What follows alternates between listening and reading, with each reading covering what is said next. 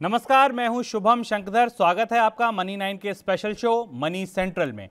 आज की बड़ी खबरों पर चर्चा के लिए हमारे साथ जुड़े हैं मनी नाइन के एडिटर अंशुमान तिवारी जी। सर, स्वागत है आपका शो में। शुरू करते हैं मनी सेंट्रल और देखते हैं क्या है प्रोग्राम में आज खास। सबसे पहले आप देखेंगे स्टार्टअप स्टॉक्स पर एक स्पेशल रिपोर्ट बाज़ार की गिरावट में कहाँ खड़ी है स्टार्टअप चर्चा होगी इसके बाद शेयर बाज़ार पर, अर्थव्यवस्था में रिकवरी पर एलआईसी के आईपीओ पर और चीन पर बढ़ती निर्भरता पर. इसके बाद होगा बजट सेंट्रल जिसमें आज हम देखेंगे सीनियर सिटीजन्स की उम्मीदें और विक्रम बेताल से सुनेंगे उनकी नई नोकझोंक, नई कथा. बजट से पहले शेयर बाज़ार में भगदड़ सी मची है. पाँच दिन में निवेशकों के 20 लाख करोड़ रुपए से ज़्यादा डूब गए। जानना ज़रूरी यह है कि उन स्टार्टअप्स आईपीओ का क्या हुआ जिन्होंने पिछले साल सबसे ज़्यादा सुर्खियाँ बटोरी थी। देखिए ये स्पेशल रिपोर्ट पेटीएम के आईपीओ में अगर आपने एक लाख रुपए निवेश किए होते तो इस वक्त आप आधी से ज़्यादा पूंजी से हाथ धो बैठते। केवल पेटीएम ही नहीं जोमैटो पॉलिसी बाज़ार नायका कार्ट्रेड जैसे तमाम स्टार्टअप्स जिनके आईपीओ पर निवेशक लट्टू हुए जा रहे थे, अपने ऑल टाइम हाई से बावन फ़ीसदी तक नीचे हैं। ऑल टाइम हाई मतलब शेयर का अब तक का सबसे ऊपरी भाव। यानी अगर आपके मन में आईपीओ पर दाव न लगा पाने का मलाल है तो बाज़ार में आपके लिए सेल लगी है। स्टार्टअप कंपनियों की लिस्टिंग के साथ शेयर बाज़ार में नए युग की शुरुआत हुई थी। लेकिन औने पौने वैल्यूएशन की हवा से भरा गुब्बारा अब पिचकने लगा है। शेयरों में इतनी गिरावट के बाद भी विशेषज्ञ वैल्यूएशन पर सवाल खड़े कर रहे हैं। किया चोक्सी शेयर एंड सिक्योरिटीज के प्रबंध निदेशक देवेंद्र चोक्सी कहते हैं स्टार्टअप्स मुनाफा कमा नहीं रहे, फिर भी इतने महँगे वैल्यूएशन पर बिक रहे हैं। अब निवेशकों को पैसे की ज़रूरत है या बाज़ार में बिकवाली हावी है तो सबसे पहले पोर्टफोलियो से ऐसा ही सामान बेचा जाएगा जो महँगा दिख रहा है। सोने जैसी बढ़िया कंपनियों का नंबर ज़ाहिर है, इनके बाद ही आएगा। चोकसी साहब की बात बाज़ार की रोशनी में भी फिट बैठ रही है। क्योंकि निफ्टी तो अपने टॉप से अभी कुछ आठ फ़ीसदी ही नीचे है, जबकि स्टार्टअप्स पूंजी के दुश्मन बने हुए हैं। चलते चलते सुनिए सबसे ज़रूरी बात। Association of mutual funds in India ने 5 जनवरी को लार्ज कैप, मिड कैप और स्मॉल कैप कंपनियों का नए सिरे से वर्गीकरण किया था। इस फेरबदल में जोमैटो, नायका और पेटीएम जैसे स्टार्टअप्स को लार्ज कैप की श्रेणी में रखा गया। ये फेरबदल छह महीने में होता है। आपके लिए जानना इसलिए ज़रूरी है क्योंकि म्यूचुअल फंड्स कंपनियाँ इसी वर्गीकरण के आधार पर खरीदारी करती हैं। यानी आपने सीधे स्टार्टअप के आईपीओ में पैसा नहीं भी लगाया हो, तब भी हो सकता है कि इस गिरावट की चोट आपकी जेब तक पहुँची होगी। क्योंकि सिप के ज़रिए आप इक्विटी म्यूचुअल फंड में जो पैसा लगा रहे हैं, वो इस रास्ते इन स्टार्टअप्स में पहुँच गया था। ईडलवाइज की एक रिपोर्ट के मुताबिक पॉलिसी बाज़ार वाली पीबी फिनटेक में सबसे ज़्यादा 1350 करोड़ रुपए म्यूचुअल फंड कंपनियों ने लगाए थे। पेटीएम में भी 980 करोड़ का निवेश म्यूचुअल फंड से आया था। तो जनाब मनी नाइन की सलाह है कि अगर आप म्यूचुअल फंड के रास्ते भी शेयर बाज़ार में निवेश करते हैं तो अपने पोर्टफोलियो को एक निश्चित अंतराल पर चेक करते रहिए और स्टार्टअप्स की वैल्यूएशन पर धुन साफ़ न हो जाने तक सोच समझकर ही निवेश कीजिए। ये बड़ा रोचक है। इन स्टार्टअप्स को आप भारत में स्टार्टअप्स की क्रांति कथाएँ कह सकते हैं, कीर्ति कथाएँ कह सकते हैं। इनके नाम से लोगों से पैसा जुटाया गया। सर, अब ये स्टार्टअप्स अगर अपने लिस्टिंग से देखिए, अपने ऑल टाइम हाई से देखिए, आधे रह गए हैं। लेकिन अभी भी वैल्यूएशन पर जो सवाल थे, वो जस के तस खड़े हैं। क्या अभी भी इनकी वैल्यूएशन अट्रैक्टिव नहीं है? शुभम, बाज़ार में बड़ी दुविधा है। हालाँकि बाज़ार में गिरावट है, जिस पर हम आगे चर्चा करेंगे। पर स्टार्टअप्स को लेकर, क्योंकि स्टार्टअप्स एक बिल्कुल नए किस्म की चीज़ थे भारतीय बाजारों के लिए। भारतीय बाज़ार के निवेशक आमतौर पर ब्रिक एंड मोटा कंपनियों में निवेश करते हैं, जहाँ आपको एक फैक्ट्री दिखाई देती है, जहाँ आपको एक प्रोजेक्शन दिखाई देता है। कभी आपको उनकी बैलेंस शीट में घाटे नहीं दिखाई देते, पर स्टार्टअप कंपनियाँ अपने बाज़ार डेवलपमेंट के लिए या अपने कस्टमर्स के डेवलपमेंट के लिए के लिए लॉसेस क्रिएट करती हैं। और ये माना जाता था कि जैसे कोई सीमेंट कंपनी प्लांट लगाने में इन्वेस्टमेंट करती है, ठीक उसी तरीके से ग्राहक का बेस बिल्ड करने के लिए एक स्टार्टअप कंपनी डिस्काउंट्स देती है। ये सारी थ्योरीज स्टार्टअप आईपीओ के दौरान दी गई थी। अब जो दुविधा आपके दिमाग में है, शुभम, वही सवाल बहुत सारे लोगों के दिमाग में और मेरे दिमाग में भी है कि वो सारे विशेषज्ञ, वो सारे ब्रोकरेज हाउस जो आज से छह महीने पहले तक इन्हें बेस्ट वैल्यूड स्टॉक बता रहे थे इनमें खरीदारी की लॉबिंग कर रहे थे, इनके बारे में रिपोर्ट्स लिख रहे थे। उसमें से अधिकांश लोग अब ये कहने लगे कि इनके वैल्यूएशन बहुत ज़्यादा हैं और अपने वैल्यूएशन से नीचे आ गए अब एक सामान्य निवेशक है तो उसके लिए बड़ी दुविधा की बात है कि उसने जिसकी बात सुनकर इस शेयर स्टॉक को खरीदा होगा, वही उसे छः महीने बाद ये बता रहा है कि ये तो वैल्यूएशंस बहुत ज़्यादा हैं और ये सोने जैसी कंपनियाँ नहीं हैं, ये महँगा माल है, ये महँगा माल है तो इसको हम पहले बेच बेच लेंगे। अब यहाँ से दो बड़े सवाल खड़े होते हैं स्टार्टअप्स के साथ। पहला सवाल ये खड़ा होता है कि अगर इनके वैल्यूएशंस बहुत हाई थे तो क्या इनका आइडियल वैल्यूएशन होना चाहिए? ये कौन बताएगा? बिल्कुल। निवेशक को ये कौन बताएगा? अगर हम बाज़ार की प्राइस डिस्कवरी के सिद्धांत पर विश्वास करें तो अभी हमें पता नहीं कि बाज़ार इसका प्राइस डिस्कवर करके किस लेवल पर ले जाएगा। 50 परसेंट थर्टी परसेंट के, के नीचे के लेवल पर जाएगा जाएगा। और दूसरी जो महत्वपूर्ण बात यह है कि इस तेज़ी इस गिरावट में पहले तेज़ी में इनका चढ़ना और इस गिरावट में स्टार्टअप्स के गिरने के बाद शेयर बाज़ार के संदर्भ में स्टार्टअप बाज़ार के संदर्भ में नहीं स्टार्टअप के बाज़ार में किसी भी स्टार्टअप के बिज़नेस मॉडल या रेवेन्यू मॉडल की गणना बिल्कुल दूसरे तरह से होती। है पर शेयर बाज़ार के संदर्भ में स्टार्टअप कंपनियों के वैल्यूएशन और उनके फ़ायदे को लेकर एक पुनर्विचार एक किस्म का का रीवैल्यूएशन शुरू हो चुका है मार्केट के अंदर। लोगों ने नायका को लोगों ने जोमेटो को लोगों ने पॉलिसी बाज़ार को कार ट्रेड को नए सिरे से देखना शुरू कर दिया। ये वो लोग हैं जो आज से छह महीने तक पहले तक मान रहे थे कि भारत के भविष्य की सबसे बड़ी कंपनियाँ होने वाली उन्हें लग रहा है कि कहीं ना कहीं कुछ गड़बड़ है। बिल्कुल। बाज़ार में ये बात कही जाती थी जब ये स्टार्टअप्स आ, रहे थे आईपीओ लेकर अपने तो ये कहा जाता था कि हम यूज़ कुछ करते हैं हम बैठते हैं ओला उबर में हम स्विगी जोमेटो से खाना मंगाते हैं लेकिन हम निवेश कहीं और करते हैं। तो ये ऐसी कंपनियों में निवेश करने का मौका होगा ऐसे स्टार्टअप्स में निवेश करने का मौका होगा जिन्हें आप इस्तेमाल करते हैं। लेकिन अब वो सारी थ्योरीज कहीं ना कहीं उनकी जड़ें जो हैं दीवारें जो हैं वो हिल रही हैं। सर स्टार्टअप से अब आते हैं बाज़ार पर। बाज़ार में हमने देखा पिछले चार पाँच दिनों में लगातार गिरावट दिखी। आज कुछ रिकवरी आई है। यहाँ भी बड़ी दुविधा है। बाज़ार में अगर इतनी तेज गिरावट थी, इतनी गहरी, इतनी चौड़ी गिरावट थी, फिर ये रिकवरी कैसे? अब ये खरीद कौन रहा है दरअसल? ये दिलचस्प बात है। स्टार्टअप में एक बात और ध्यान रखना ज़रूरी है। इसके बाद हम इस सवाल पर आते हैं कि बहुत सारे लोग जानना चाहेंगे इस कार्यक्रम के ज़रिए कि वो करें क्या आगे। स्टार्टअप्स में निवेश को लेकर क्या करें? वो उसमें बने रहें उससे निकल निकल जाएँ। ये बड़ी दुविधा की बात है क्योंकि अगर आपके पास कोई दूसरी कंपनी होती तो शायद उसके बारे में आपके प्रोजेक्शंस क्लियर होते। तो ये लगता है कि जब स्टार्टअप में आप पैसा लगाएँ उनके वैल्यूएशन को को देखें तो कुछ कॉमन सेंस की इकोनॉमिक्स पर विश्वास करने की कोशिश करें। देखें कि वो स्टार्टअप जिस क्लास को इकोनॉमी में जिस हिस्से को, को को सर्विस देते हैं वो कितना बड़ा हिस्सा है। क्या जिसके लिए वो वो स्टार्टअप खोला गया है उनका एक बड़ा हिस्सा बाज़ार में है? क्या लोगों की परचेजिंग पावर इतनी है कि वो इसमें लगातार इस, इनका इस्तेमाल करते रह सकते हैं? ये सामान्य चीज़ें हैं जो शायद आपको किसी स्टार्टअप के वैल्यूएशन को समझने में थोड़ी मदद करेंगी। क्योंकि इतने सारे फार्मूले हैं अलग अलग और बाज़ार में स्टार्टअप्स को, को भविष्य की सक्सेस स्टोरी बताने वाले लोग भी हैं और स्टार्टअप्स को ओवर वैल्यूड बताने वाले लोग और इनके महँगे वैल्यूएशन को बताने वाले लोग भी हैं। बिल्कुल। दूसरे सवाल पर आते हैं, खरीद कौन रहा है? और यही बड़ी दिलचस्प बात है कि भारतीय शेयर बाज़ार में गिरावट स्थायी नहीं होगी और आगे भी आने वाले समय में भी नहीं होगी। तो जो लोग डर रहे हैं उन्हें डरने की ज़रूरत नहीं है। बाज़ार में भगदड़ होगी बाज़ार में सात आठ परसेंट की गिरावट ऊपर के लेवल से आएगी स्वाभाविक सी बात है खरीद कौन रहा है? दरअसल हो यह रहा है शुभम की भारतीय शेयर बाज़ार में छोटे निवेशक और खासतौर से जो म्यूचुअल फंड्स हैं वो बहुत बड़े स्टेक होल्डर्स हो गए हैं। आप कल्पना करें कि हर महीने अगर म्यूचुअल फंड्स के पास दस हज़ार करोड़ रुपए का निवेश आ रहा है एस के ज़रिए। पहली बार 2021 में एस का निवेश एक लाख करोड़ रुपए से ऊपर निकल गया। निकल गया, अगर म्यूचुअल फंड के पास वो दस हज़ार करोड़ रुपए हर महीने आ रहे हैं तो उसे लिए वो बैठा नहीं रहेगा।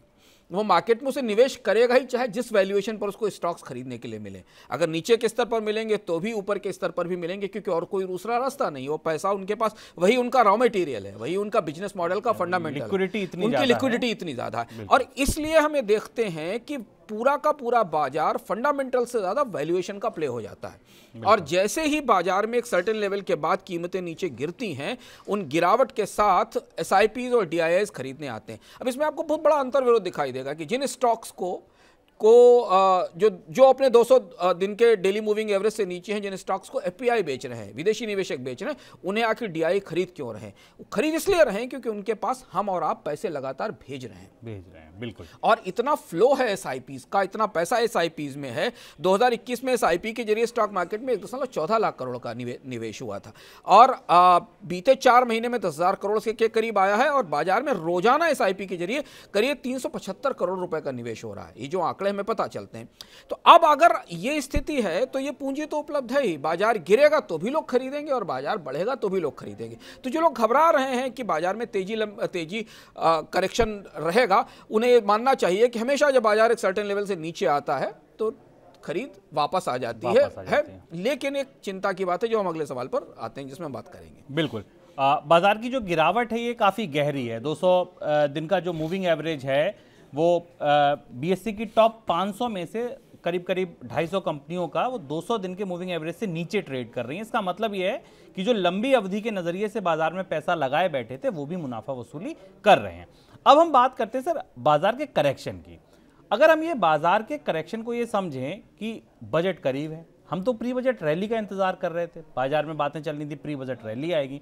बट ये तो बजट से पहले प्री बजट सेल ऑफ़ हो गया। क्या इसकी क्या वजह बजट में ऐसा क्या सूंघ लिया बाज़ार ने बजट से कुछ सूंघ नहीं लिया लेकिन बजट को लेकर बाज़ार में पिछले बजटों जैसा उत्साह नहीं दिखता है क्योंकि अब बजट कोई गोपनीयता की वस्तु नहीं रह गए हैं कोई विषय नहीं रह गए हैं। आपके सामने सरकार के फ़िज़िकल नंबर उपलब्ध होते हैं आपके सामने मैक्रो इकोनॉमी के नंबर उपलब्ध हैं।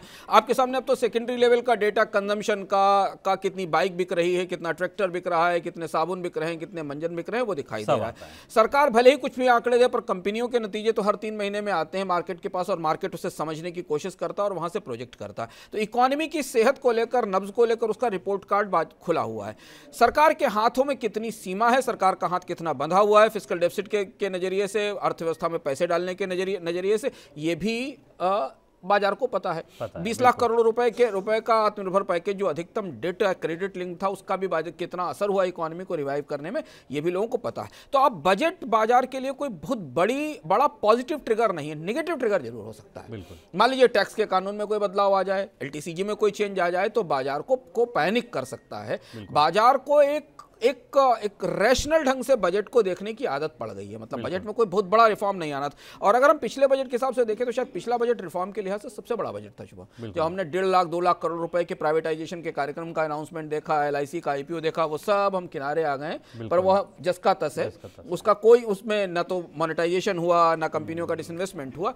तो अब करेक्शन कितना महँगा है? यहाँ दो तरीके के सवाल उठते हैं। अगर हमने इससे पहले जब आपसे बात की तो हमने उन निवेशकों की दृष्टि से बात की जो म्यूचुअल फंड में पैसा लगाते हैं। उनके लिए डरने की कोई परिस्थिति नहीं है क्योंकि वो पैसा भेज रहे हैं और उनका म्यूचुअल फंड खरीदेगा खरीदेगा ही खरीदेगा और वो एवरेज आउट करेगा इसलिए आपके रिटर्न्स को बनाए रखने की कोशिश करेगा वो बाज़ार में में चर्न करेगा अपने स्टॉक्स को खरीद के जिससे कि आपको एक रूपी आपका को रूपी का बेस्ट वैल्यू आपके इन्वेस्टमेंट की बेस्ट वैल्यू गिवन सिचुएशन में मिलती रहे। अब दूसरा वो हिस्सा है जो बाज़ार को प्रतिदिन जिसकी नब्ज पड़ता है वहाँ बड़ी दिक्कत है। वहाँ 200 दिन का मूविंग एवरेज ये बता रहा है कि बाज़ार के अंदर कुछ गहरे दबाव बने हुए हैं। हम्म। आमतौर पर चार्ट पढ़ने वाले लोग बाज़ार के भविष्य की दिशाओं से निर्धारित करते हैं। हम भी चूँकि स्टॉक मार्केट पर बात कर रहे हैं तो हम भी उन लेवल्स की चर्चा कर लें तकनीकी चार्ट चार्ट में।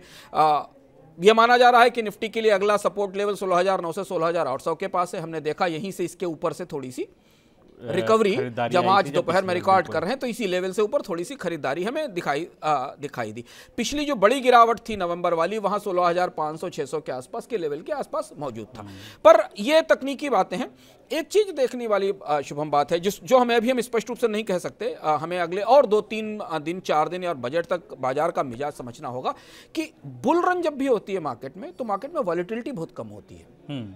उतार चढ़ाव कम होता है। हमने अपने पुराने आंकड़ों से देखा है कि अगर बाज़ार सीधे तेज़ी की तरफ़ जा रहा होता तो उतार चढ़ाव की प्रक्रियाएँ थोड़ी कम रहती हैं क्योंकि बाज़ार में एक सेकुलर चेंज आता है। लेकिन जब बाज़ार निचले लेवल से लड़खड़ाने लगता है तो वॉलिटिलिटी ज़्यादा बढ़ जाती है। तो फ़िलहाल अभी जो 200 दिन का डीएमए हमें बता रहा है या हमें जो निफ्टी के के लेवल्स बता रहे हैं या जो हमें फ्यूचर और ऑप्शंस के लेवल बता रहे हैं ये हमें बता रहे हैं कि बाज़ार अगर बहुत गहरे करेक्शन के फ़ेज़ में नहीं है तो बहुत तेज सेक्युलर बुल रन के फ़ेज़ में भी नहीं है। इनके बीच में कहीं बाज़ार साइडवेज में मूव करेगा और एक वोलेटाइल मार्केट है और वोलेटाइल मार्केट हमेशा तेज़ी वाले मार्केट से या गिरावट वाले मार्केट से ज़्यादा खतरनाक होता है। ज़्यादा खतरनाक है बिल्कुल क्योंकि वहाँ पे एक डायरेक्शन नहीं है जहाँ आप सीधे सौदे खड़े कर सकें। अगर बाज़ार में गिरावट है तो आप शॉर्ट्स कर सकते हैं अगर आप बाज़ार में तेज़ी है तो आप खरीदारी करके चल सकते हैं लेकिन जब उतार चढ़ाव दोनों हैं तो इस दो मोह की स्थिति में, दुविधा की स्थिति में आप भी दिक्कत में रहते हैं। चलिए बढ़ते हैं अब अगली खबर की ओर। एलआईसी के आईपीओ की तैयारी चारों तरफ़ चल रही है। फील गुड के लिए आप ऐसा मान सकते हैं, खबरों के नज़रिए से इसे पढ़ सकते हैं। लेकिन आज एक ऐसी सूचना आर्थिक हलकों से लेकर शेयर बाज़ार पर तैरने लगी, जो इस रंग में भंग डालने जैसी हो सकती है। सूचना क्या है, ये भी समझते हैं अंशुमान जी से, और इसका असर क्या है, ये भी। सर, पहले वो सूचना क्या है जो LIC के आईपीओ को का इंतज़ार करने वाले लोगों के लिए निराशा हो सकती है। ये सूचना हमारे हमारे लिए भी, जो हम लोग करीब से एल आई के आईपीओ के हर छोटी छोटी खबर को फॉलो कर रहे हैं। मनी नाइन पे लगातार हम पैकेजेस में दिखा रहे हैं। हमारे लिए भी चौंकाने वाली सूचना थी और ये सूचना वित्त मंत्रालय के हलकों में थी, फिर आज कुछ अखबारों में प्रकाशित हुई और यहाँ से घूम कर मुंबई के शेयर बाज़ार तक पहुँच गई। वो सूचना ये थी कि सरकार ने जो बजट का रिवाइज एस्टीमेट तैयार किया है, जिसे वो वो एक तारीख को फरवरी एक फरवरी को संसद में पेश करेगी, उस रिवाइज एस्टीमेट में जहाँ सरकार अपनी कमाई और खर्च का का हिसाब देगी, उसमें LIC के आईपीओ से मिलने वाली प्रोसीड्स को शायद जगह नहीं मिलेगी, शायद जगह नहीं मिलेगी, ऐसा बात सूत्रों के हवाले से से आई है। यानी सरकार ये मान रही है कि इकतीस मार्च तक एलआईसी की बिक्री करना एल का का विनिवेश कंप्लीट कर पाना और एलआईसी को लिस्ट कराना संभव नहीं है। यह भी संकेत है कि कोशिश इस बात की है कि इकतीस मार्च तक किसी तरह एलआईसी को को लिस्ट कराकर उसका विनिवेश पूरा कर दिया जाए लेकिन अगर वो नहीं होगा तो जो बजट के एक्चुअल एस्टीमेट्स आएँगे मतलब इस बजट के बाद अगले बजट के एस्टीमेट्स आएँगे आएँगे उनमें उसे शामिल किया जाएगा। अब ये खबर कई तरीके से काफ़ी खलबली मचाने वाली खबर है। हम समझ रहे हैं इस बात को। ये खबर इसलिए खलबली मचाने वाली है क्योंकि एक तो जो इन्वेस्टर है जो एलआईसी का पॉलिसी होल्डर है तीस बत्तीस करोड़ उनकी तो उम्मीदें हैं। सरकार के घाटे के आंकड़े को देखने वाले लोगों को लोगों की निगाहें इस बात पर थी कि क्या एल आई की प्रोसीड इस साल आ जाएँगी? और अगर आ जाएँगी तो सरकार को राजकोषीय घाटा कम रखने में मदद मिलेगी। उसके हाथ में और ज़्यादा पैसा होगा खर्च करने के लिए कर्ज पर निर्भरता घटेगी।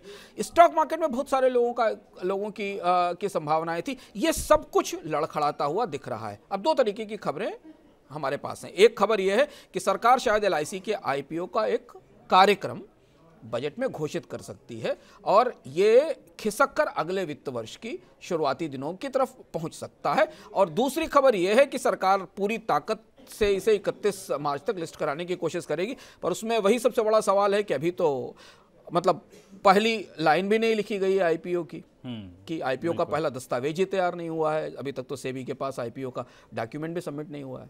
बिल्कुल।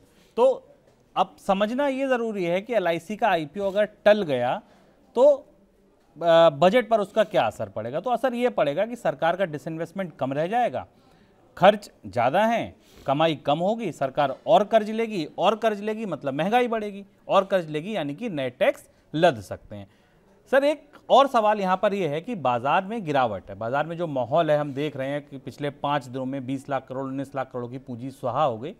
इस माहौल में एलआईसी का आईपीओ लाना क्या ठीक होगा? अगर बाज़ार में ये आ, उतार चढ़ाव है आपने खुद बोला कि उतार चढ़ाव की स्थिति सबसे खराब होती है।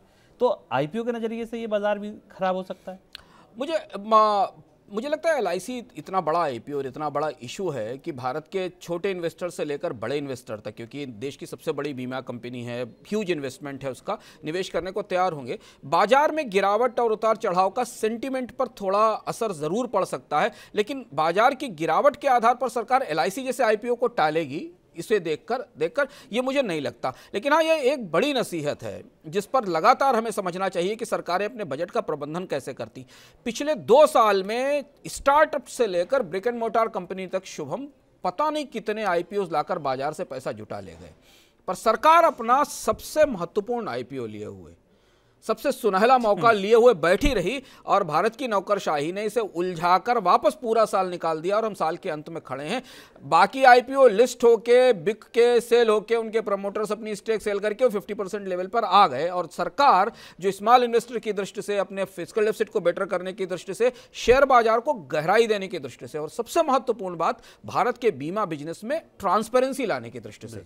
एल का आईपीओ और बाकी सब सारी चीज़ों को आप एक बार किनारे रख भी दें तो देश की सबसे बड़ी बीमा कंपनी जिसका शेयर बाज़ार में सबसे बड़ा निवेश है उसकी ट्रांसपेरेंसी के लिए उसकी पारदर्शिता के लिए आईपीओ बहुत ज़रूरी था। वो लाते लाते कोशिश करते करते हम बजट से एक हफ़्ते पहले खड़े हैं और अभी उसका डॉक्यूमेंट या, या उसका प्रोस्पेक्टस सेबी के पास नहीं जा सका नहीं है। तो बाज़ार में गिरावट उतनी बड़ी समस्या नहीं है जितनी जितनी चुनौती सरकार के भीतर काम करने के तौर तरीकों की है जिसमें जिसमें वो समय पर अपने फैसलों को लागू नहीं कर पाती। बिल्कुल। चलिए अब हम लोग यही कह सकते हैं देर भले आए दुरुस्त आए। आगे बढ़ते हैं। अर्थव्यवस्था में रिकवरी पर दो पाले खिंच गए हैं। दो धड़े बट गए हैं। एक देख रहे हैं जीएसटी का कलेक्शन और ईवे बिल के सकारात्मक आंकड़े। और दूसरे दिखा रहे हैं टू व्हीलर की बिक्री और एफएमसीजी कंपनियों की चिंता। एक तरफ़ आंकड़े आ रहे हैं कि रेलवे के माल भाड़े में भी वैसी ग्रोथ नहीं आई जैसी पिछले साल आई थी। और दूसरे कह रहे हैं कि बिजली उत्पादन में स्थिरता बनी हुई है। सर, ये माजरा क्या है? एक तरफ़ पॉजिटिव आंकड़े जो ये दिखा रहे हैं कि इकोनॉमी में रिकवरी आ रही है। लेकिन दूसरे आंकड़े उन्हें सपोर्ट नहीं कर रहे हैं। कैसे उलझी हुई कैसी है ये गुत्थी? ये अंतर्विरोध है और ये अंतर्विरोध भारत की अर्थव्यवस्था के संदर्भ में ज़्यादा बड़ा है। और जब हम पिछले दिनों में भारत की रिकवरी के अलग अलग जो हाई हाई फ्रिक्वेंसी इंडिकेटर्स आते हैं उन पर पे काम कर रहे थे और अंतर्राष्ट्रीय बाकी देशों से तुलना कर रहे थे तो हमें दिखाई दिया कि ये जो पैराडॉक्स है ये जो अंतर्विरोध है भारतीय अर्थव्यवस्था में ज़्यादा गहरा है। बाकी दे, देशों की अर्थव्यवस्थाओं में आमतौर पर एक सेक्युलर रिकवरी दिखाई देती है। पर आप यहाँ एक ही तरफ़ देखिए एक तरफ़ सरकार ये बताती है कि जीएसटी का संग्रह रिकॉर्ड है है और ई वे बिल में बढ़ोतरी हो रही है। दूसरी तरफ़ एच और नेस्ले और उन, उनके नतीजे ये बताते हैं कि पिछली तिमाही में कीमतें बढ़ी तो जो F M C G products हैं उनका उनकी डिमांड नीचे घट गई। तो यानी एक आंकड़ा वो भी अधिकृत आंकड़ा जो बताता है कि लोग खपत नहीं कर रहे हैं खरीदारी नहीं कर रहे हैं। दूसरा आंकड़ा ये बताता है कि नहीं सरकार का टैक्स कलेक्शन बढ़ रहा है। अब इसकी वास्तविकता क्या है? सरकार स्पष्ट करे या नहीं नहीं लेकिन ऐसा समझ में आता है कि महँगाई बढ़ने के कारण सरकार के टैक्स कलेक्शन में बढ़ोतरी हो रही। जो बात तो हमें जीडीपी में नॉमिनल जीडीपी और रियल जीडीपी के अंतर के तौर पर दिखाई दी जिस पर हमने पिछले इकोनॉमिक में चर्चा भी की थी और बताया भी था कि रियल जीडी और नॉमिनल जीडीपी में भारत में क्यों अंतर दिख रहा है है इस बार। दूसरी तरफ़ एक चीज़ हमें ये दिखाई दे रही है कि पेट्रोल डीजल की डिमांड में बढ़ोतरी हो रही है या पेट्रोल डीजल के, के, का इंपोर्ट वापस पटरी पर लौट रहा है पर गाड़ियों का रजिस्ट्रेशन गाड़ियों की सेल्स नहीं बढ़ रही है। और इसी तरह से आप बाकी चीज़ों को देख लें तो अगर हम इस पूरे आंकड़े को शुभम डिस्टिल करें इसका आसवन करें और इसे निचोड़ कर इसका एब्सोल्यूट निकालें तो हमें दिख रहा है कि कंजम्पशन का रिबाउंड नहीं हो रहा है। खपत की का, का की वापसी नहीं हो रही है।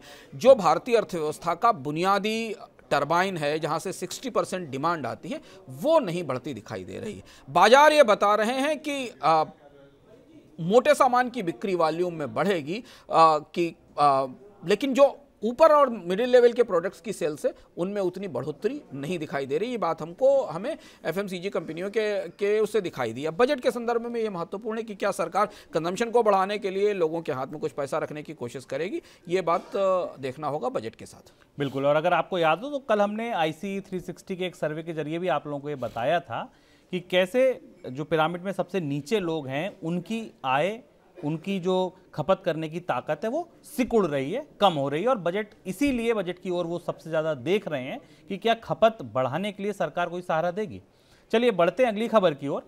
एक तरफ़ भारत और चीन के सैनिक आमने सामने खड़े हैं और दूसरी तरफ़ दोनों देश के बीच व्यापार के नए रिकॉर्ड बन रहे हैं। चीन सरकार के आंकड़ों के अनुसार 2021 में भारत और चीन के बीच व्यापार 125 अरब डॉलर के पार पहुँच गया। दूसरी तरफ़ एक खबर आई स्टार्टअप से। भारतीय स्टार्टअप्स में चीन की कंपनियों के निवेश तीन गुने से ज़्यादा हो गए। 2020 में भारतीय स्टार्टअप में चीन का निवेश करीब करीब चार अरब डॉलर का था, जो अब बढ़कर इस साल 14 अरब डॉलर के पार निकल गया। सर, एक तरफ़ लड़ाई और दूसरी तरफ़ भाई। क्या कैसी उलझन है ये? चीन के साथ हमेशा ये उलझन रही है। चीन को लेकर पॉलिटिकल पोस्चरिंग और और राजनीतिक रूप से चीन चीन को को, के, को डील करना और चीन के साथ ट्रेड रिलेशंस, ये दोनों बिल्कुल अपोजिट रहे हैं। और ये मैं बार बार इस चर्चा में बार बार जब भी इस तरीके की चर्चाएँ आती हैं हैं तो हमारे लिए समझना ज़रूरी है कि व्यापारिक रिश्ते आमतौर पर कूटनीतिक रिश्तों से अलग चलते हैं और भारत और चीन इस संदर्भ में एक बहुत ही दिलचस्प और बहुत पेचीदा तरीके की तस्वीर पेश करता है। अब जो आंकड़े हमारे पास आए, उनको देखना बहुत दिलचस्प है। इन पर और भीतर से हम समझने की कोशिश करेंगे। हमारे पास ये आंकड़े आए कि चीन से भारत का निर्यात लगभग 100 बिलियन डॉलर के आसपास पहुँच रहा है। और ये उन सालों की बात है जब भारत में मंदी थी मंदी थी। डिमांड नहीं थी इकोनॉमी माइनस में थी नेगेटिव में थी तब चीन से से भारत का इंपोर्ट करीब करीब 100 बिलियन डॉलर के आसपास पहुँच गया। और इंपोर्ट किसका है? मशीनरी का। फर्टिलाइज़र का, स्पेशलिटी केमिकल्स का, इलेक्ट्रॉनिक्स का और स्मार्टफ़ोन का। ये वो सारे क्षेत्र हैं जहाँ भारत ने पिछले दो तीन सालों में ये कोशिश की कि भारत में कैपेसिटीज बढ़ाई जाएँ। इसके लिए इंपोर्ट ड्यूटीज़ भी बढ़ाई गई पीएलआई जैसी स्कीमें भी लाई गई, लेकिन चीन से इनका इंपोर्ट बढ़ते बढ़ते सौ बिलियन डॉलर के आसपास पहुँच गया। और अगर बायोलेटरल ट्रेड देखें, जिसका बैलेंस पूरी तरह या मैं मैं कहूँ बुरी तरह चीन के पक्ष में है में है। है है वो 125 बिलियन डॉलर के आसपास है। यहाँ तक तो बात ठीक थी क्योंकि आप अगर इलेक्ट्रॉनिक्स और कंपोनेंट और पुर्जे नहीं बना सकते हैं और आपको मोबाइल फ़ोन बनाने हैं तो आपको ना इम्पोर्ट करना पड़ेगा। पर दूसरा आंकड़ा और चौंकाने वाला है जो स्टार्टअप से आता है। 2020 में हमने देखा था कि सडनली भारत के स्टार्टअप्स में चीन के निवेश में गिरावट आई थी। लेकिन 2021 में एकदम उसमें एक बड़ा बाउंस बैक आता है और वो करीब करीब जो आंकड़ा उपलब्ध है उस हिसाब से दो सौ अड़सठ राउंड की फंडिंग एक साल के भीतर दो सौ अड़सठ राउंड की दो सौ अड़सठ राउंड की स्टार्टअप फंडिंग चीन के ज़रिए भारत के स्टार्टअप्स में आई है और लगभग चौदह बिलियन डॉलर के आसपास का निवेश स्टार्टअप्स में में चौदह से पंद्रह बिलियन डॉलर के आसपास का निवेश भारतीय स्टार्टअप्स में चीन से आया है। एक क्वालिटेटिव फ़र्क है शुभम इस निवेश में और इससे पहले के निवेश में जो महत्वपूर्ण है समझना कि इससे पहले का जो चीन का इन्वेस्टमेंट भारतीय स्टार्टअप्स में था वो हार्ड इन्वेस्टमेंट था।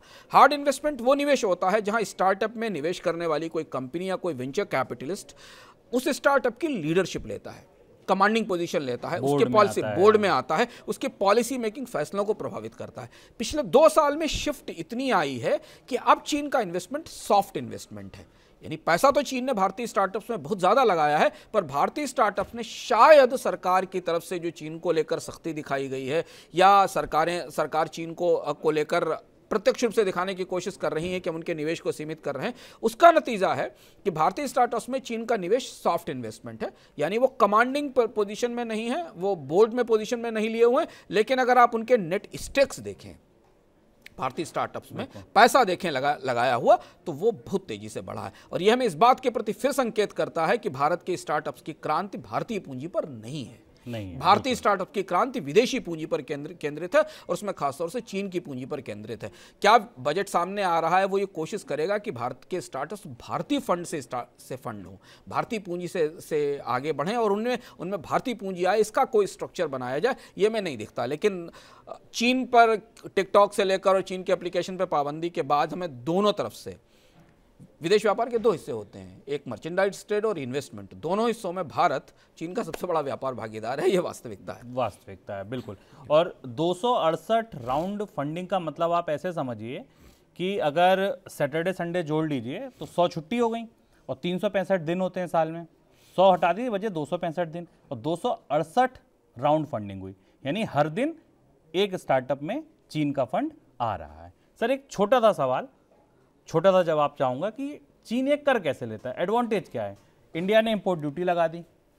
यहाँ कंपनियों पे छापेमारी हो गई। ऐप बैन हो गए। ये भी देखा, आत्मनिर्भरता के संकल्प भी हो गए।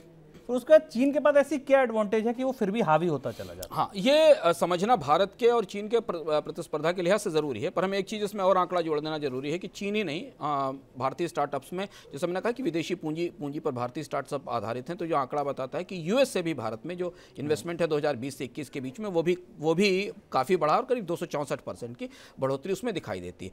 पर चीन को डिस्करेज करने का या चीन के निवेश को रोकने के के प्रयास सफल नहीं हुए हैं स्टार्टअप्स में। अब दूसरी चीज़ ये कि भारतीय बाज़ार में, ये समझना बहुत बहुत दिलचस्प और बहुत पेचीदा उलझन है, शुभम, कि पिछले तीन साल, चार साल में भारत ने चीन से आयातों पर इम्पोर्ट ड्यूटी भी बढ़ाई एंटी डंपिंग ड्यूटीज़ भी लगाई। टारगेटली टारगेट करके चीन से आने वाले सामान को महँगा किया गया ताकि भारत में उत्पादन क्षमताएँ तैयार हो सकें, हम आत्मनिर्भरता की तरफ़ जा सकें। लेकिन उसके बाद भी चीन से आयात क्यों बढ़ता चला जाता है? चीन से क्यों उन सारी चीज़ों का इंपोर्ट बढ़ता चला जाता है? जहाँ पर सरकार भारतीय कंपनियों को सस्ता कर्ज देकर बाज़ार देकर बजट से पैसा देकर पीएलआई में। बजट से पैसा देकर पीएलआई पीएलआई में में फैक्ट्री लगाने के लिए कह रही है। और यहाँ हमें ये दिखाई देता है कि भारत सर की सरकारें जितनी भारत की सरकार जितना इम्पोर्ट ड्यूटी बढ़ाती है चीन में लागत उतनी ही कम हो जाती है। जैसे छोटा सा उदाहरण समझें कि अगर आप किसी चांदनी चौक सदर बाज़ार है मनीष मार्केट के किसी व्यापारी से पूछें तो आपको ये बताएगा कि भारत चीन वहाँ से सामान लाने के लिए भारत में फ्रेट सब्सिडी तक देता है। बिल्कुल। यानी कई मामलों में चीन के बंदरगाहों से भारत के बंदरगाह तक आने के सामान की लागत भारत में दो बड़े शहरों में भारत के कोने से दूसरे कोने तक सड़क से सामान भेजने की लागत से भी कम, कम तकनीकी तौर पर ऐसा बताया जाता है कि वो तकनीकी तौर पर कम होती है। तो भारत जितने भी ट्रेड प्रोटेक्शनिस्ट मेजर लेकर आगे आता है है चीन की लागत उतनी ही कम होती चली जाती है और इसलिए ड्यूटी बढ़ने के बाद भी भारत में इंपोर्ट बढ़ता चला जाता है क्योंकि फिर भी महँगी इंपोर्ट ड्यूटी के बाद तमाम प्रतिबंधों के बावजूद भारत के व्यापारियों के लिए, भारत के कारोबारियों के लिए चीन का माल सस्ता पड़ता है। और आखिरी बात और कि चीन पर भारत की निर्भरता फिनिश्ड प्रोडक्ट से ज़्यादा रॉ मटेरियल रॉ मटेरियल पर है कंपोनेंट्स के लिए जो आप कहीं नहीं बना सकते। और इसलिए आप देखिए कि चीन से जो इंपोर्ट का स्ट्रक्चर है उसमें में मशीनरी है उसमें कंपोनेंट है उसमें केमिकल है उसमें फार्मास्यूटिकल्स हैं उसमें इलेक्ट्रॉनिक पुर्जे हैं इनका इंपोर्ट बड़े पैमाने पर होता है और जो हमें जो जो भारत के उत्पादन उत्पादन में जिनका इस्तेमाल होता है। बिल्कुल। चलिए अब बढ़ते हैं हम अपने अगले सेगमेंट की ओर बजट सेंट्रल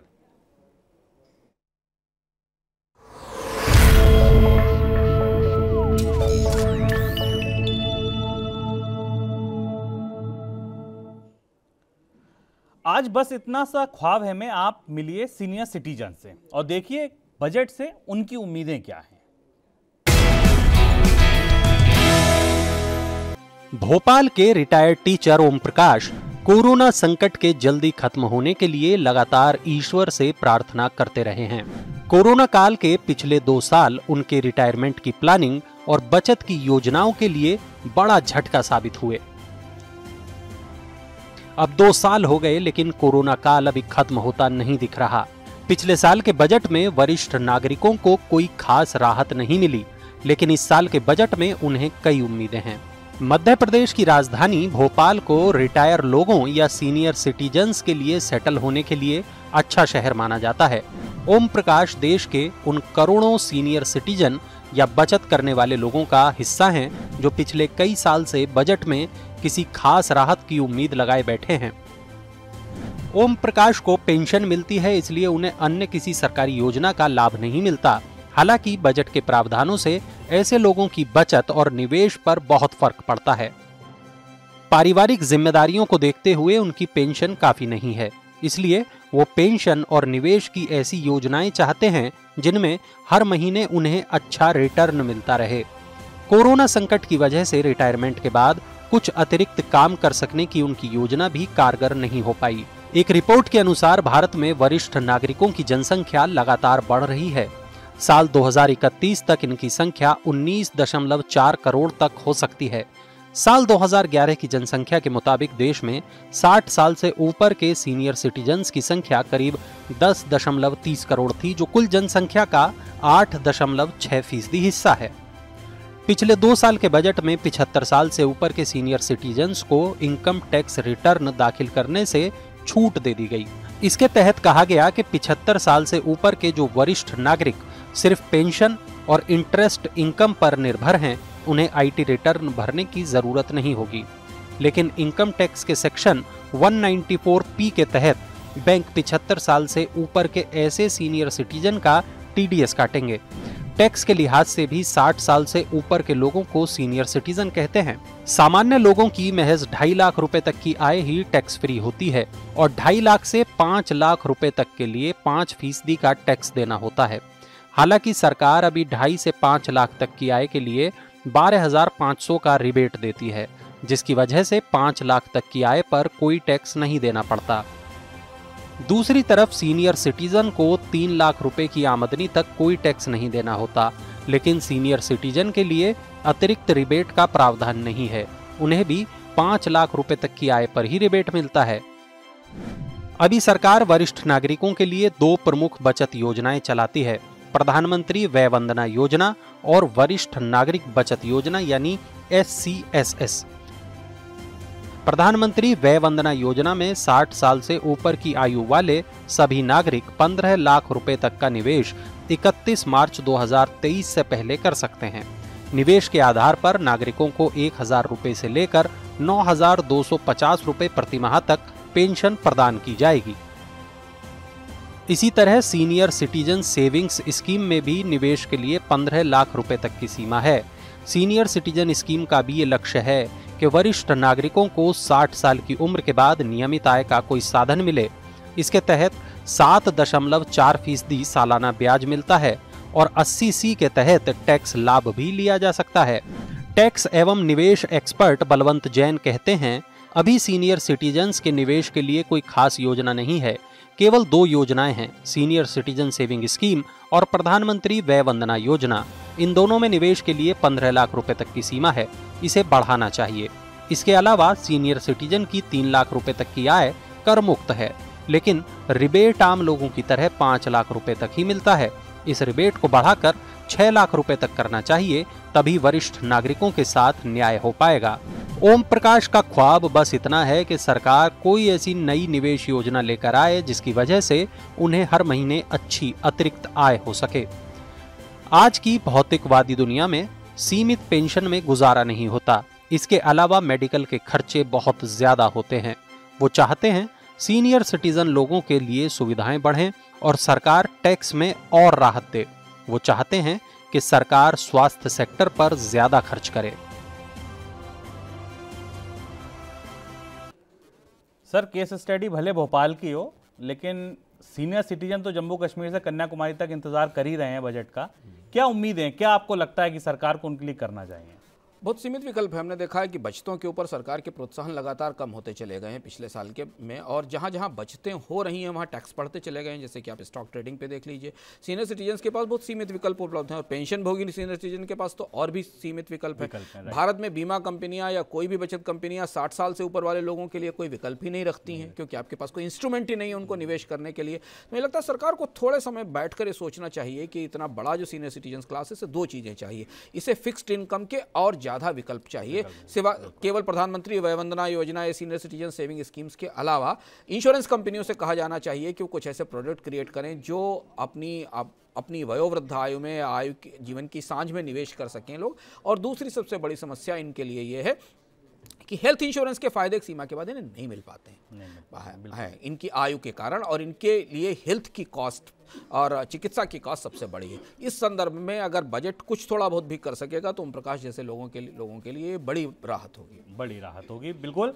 और हम बिल्कुल ये चाहेंगे कि हम हर वर्ग की जो 11 कहानियाँ लेकर आ रहे हैं 11 उम्मीदें लेकर आ रहे हैं 22 के बजट से वो हर उम्मीद कहीं ना कहीं सरकार देखे उसको समझे और उनके लिए कुछ करे। चलिए अब मिलिए आप हमारे विक्रम बेताल से। और आज समझिए सरकार के खर्च का गणित। आज विक्रम पहले से आकर पेड़ के नीचे बैठ गया था। बेताल नॉर्थ ब्लॉक के गलियारों में झांकने गया था। लौटते हुए उसने एक चक्कर संसद का भी लगाया और रास्ते में एक प्याला चाय का उठाया। विक्रम को बैठा देख बेताल ने ठहाका लगाया। बड़ी जल्दी आ गए राजा। तुम भाग लिए थे। कल मेरे सवाल का जवाब दिए बिना पर आज नहीं छोड़ेंगे। अरे क्या हुआ? क्यों इतना भड़बड़ाए हो? पिछली दफ़ा तुमने बताया था कि सरकार को कमाई कहाँ से होती है। अब ये बताओ कि सरकार पैसे को खर्च कहाँ करती है। हम्म सरकार के खर्च को समझना बड़ा ज़रूरी है। सरकार दो तरह से खर्च करती है एक पूंजी खर्च और दूसरा अनुदान वेतन भत्ते आदि। अरे अरे अरे बेताल बेताल उलझाओ मत भाई आसानी से बताओ। अरे धीरज रखो धीरज बताते हैं। आज मैं जाने नहीं दूँगा। अरे सुनो ज्ञान मत दो। खर्च के हिस्से में आती हैं सरकारी स्कीमें जैसे मनरेगा मुफ़्त राशन स्वास्थ्य संबंधी स्कीमें छात्र किसानों महिलाओं के लिए अलग अलग स्कीमें सब्सिडी भी इसी मद में है। और दूसरा? दूसरे खर्चों में कर्मचारियों की तनख्वाह राज्यों को संसाधन मुहैया कराने जैसे मद शामिल होते हैं। यही नहीं सरकार जो कर्जे लेती है ना उसका ब्याज भी तो चुकाना पड़ता है। ये भी इन्हीं खर्चों में शामिल होता है। सरकार के खर्चों को कैपिटल एक्सपेंडिचर और रेवेन्यू एक्सपेंडिचर के तौर पर भी तो बांटा जाता है। हम्म बहुत सही राजा तू भी सीख गया ये जवान। हाँ कैपिटल एक्सपेंडिचर यानी ऐसे खर्च जिनसे संपत्तियाँ खड़ी होती हैं और नौकरियाँ पैदा होती हैं। रेवेन्यू एक्सपेंडिचर में सैलरीज ब्याज जैसे मद आते हैं। यानी कैपिटल एक्सपेंडिचर अच्छा और रेवेन्यू खर्च खराब। हाँ तू यार अब इस बहस में ना पड़। ये काम अर्थशास्त्रियों के लिए छोड़ दे। अच्छा लेकिन ये तो बता दे बेताल कि सरकार को भी कर्ज पर ब्याज देना पड़ता है। मतलब सरकार का कर्ज बढ़ना एक बड़ी दिक्कत है ना? सरकार पर ज़्यादा कर्ज होगा तो बाज़ार में पूंजी कम होगी ब्याज दरें बढ़ेंगी रिज़र्व बैंक ज़्यादा नोट छापेगा और कम सामान के पीछे ज़्यादा पैसा यानी महँगाई। तो यानी महँगाई सरकार की वजह से बढ़ती है। अरे राजा सरकार तुम्हारी जेब पर टैक्स लगाकर भी महँगाई बढ़ाती है। इसका मतलब कर्जा लेगी सरकार और हमारे हाथ आएगी टैक्स और महँगाई की मार। चतुर हो गया है तू विक्रम। लेकिन बेताल भाई ये बताओ मैं एक कर्जा ले लूँ तो दूसरा कर्जा मिलना मुश्किल हो जाता है लेकिन ये सरकार हर साल इतना कर्जा कैसे ले लेती है? बस यही ना पूछो गुरु। फिर तुमने पूछा टेढ़ा सवाल और मैं चला। तो ये था आज का मनी सेंट्रल। आप अपनी प्रतिक्रियाएँ अपने सवाल और अपने सुझाव ज़रूर भेजिए क्योंकि जो इस प्रोग्राम के प्रोड्यूसर हैं मनोज जी उन्होंने कहा है कि जो भी सुझाव आएँगे वो तत्काल आपके इस प्रोग्राम में वो शामिल कर लेंगे। सर बहुत शुक्रिया आज के प्रोग्राम में जुड़ने के लिए सवालों के जवाब देने के लिए। लेकिन जाते जाते एक ज़रूरी सूचना सोने से पहले प्रियंका संभव के साथ रात का न्यूज़ कैप्सूल मनी टाइम वो लेना मत का नाम ये कैसा ही रंगो